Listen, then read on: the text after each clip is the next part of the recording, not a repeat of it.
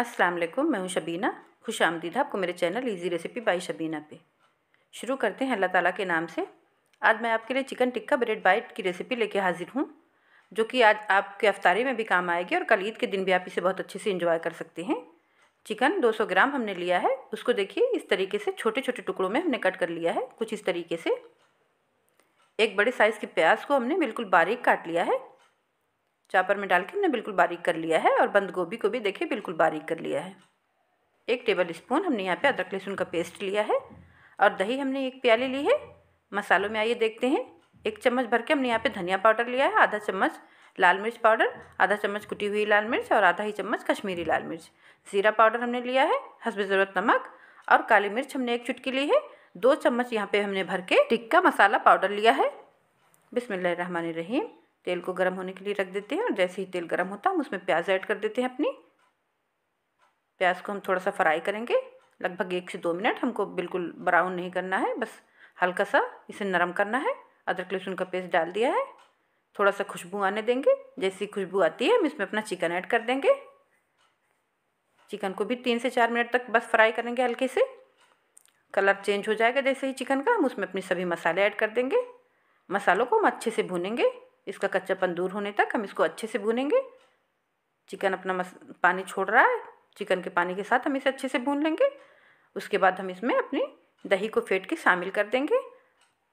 और इसमें हम शामिल कर देंगे बंद गोभी दोनों चीज़ को हम अच्छे से पका लेंगे। आँच को थोड़ा कम रख के पकाएँगे। देखिए, दही का पानी बिल्कुल खुश्क हो चुका है। अब हम आँच को बंद कर लेते हैं और इसे साइड पर रख देते हैं ठंडा होने के लिए। और अपने बाइट की तैयारी करते हैं।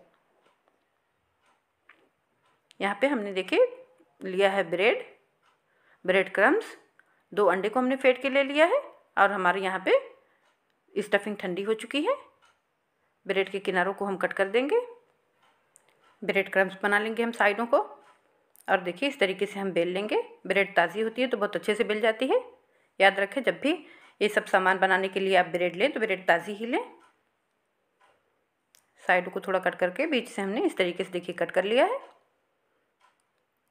और बीच में हम इस तरीके से स्टफिंग रखेंगे। बहुत ज़्यादा स्टफिंग नहीं भरेंगे, वरना हमारे बाइट फ्राई करते हुए फट जाएँगे। देखिए इस तरीके से हम रख लेंगे। हमने मैदे और पानी का घोल बनाया था, इसे हम साइडों पे लगा लेंगे। आप चाहे तो डायरेक्ट सिर्फ़ पानी भी लगा सकते हैं, लेकिन इस तरीके से मैदे का घोल बना लेंगे तो ये ज़्यादा अच्छा पड़ता है। सब साइडों पे हमने लगा लिया है इसको, और देखिए इस तरीके से बीच से फोल्ड करके हम हाथ से बिल्कुल हल्के हल्के हाथों से इसे प्रेस करके इसे सील कर देंगे। देखिए, आप हाथ के मोमेंट को ध्यान से देखिएगा।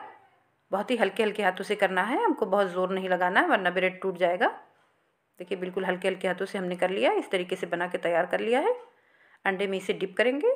फोक की मदद से इसका एक्स्ट्रा अंडा हम झाड़ लेंगे, बिल्कुल अच्छे से, और ब्रेड क्रम्स में डालेंगे। सूखे हाथों से इस तरीके से ऊपर उसके ब्रेड डालेंगे। और देखिए इस तरीके से सेट करके हम रख लिए हैं। इसी तरीके से हम फटाफट से दूसरा भी करके आपको दिखा देते हैं। देखिए इस तरीके से झाड़ लीजिए और इस तरीके से आप उसे ब्रेड से कोट कर लीजिए। इस तरीके से आप करेंगे तो आपके हाथ बिल्कुल भी गंदे नहीं होंगे, ना तो आपके ब्रेड क्रम्स ख़राब होंगे। बिल्कुल देखिए सफ़ाई से बन गया है, इसी तरीके से करते हुए हमने अपने सभी बाइट को बना के सेट करके रख लिया है।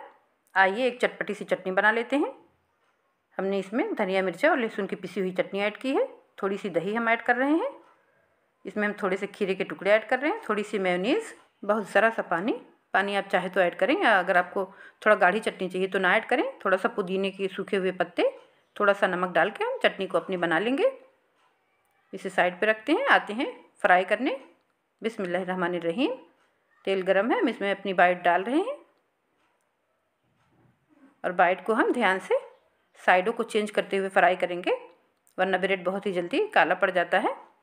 फटाफट से हम साइडों को चेंज करेंगे, चेंज करते हुए बनाएँगे। देखिए, इस तरीके से बिल्कुल गोल्डन कलर आ चुका है। हमारी बाइट तैयार हो चुके हैं। आइए इन्हें सर्व करते हैं। देखिए, माशाल्लाह, कितना खूबसूरत लग रहा है। इसकी आवाज़ चेक करें। कितना करंची बना है। अंदर से चेक करें, कितना टेस्टी लग रहा है।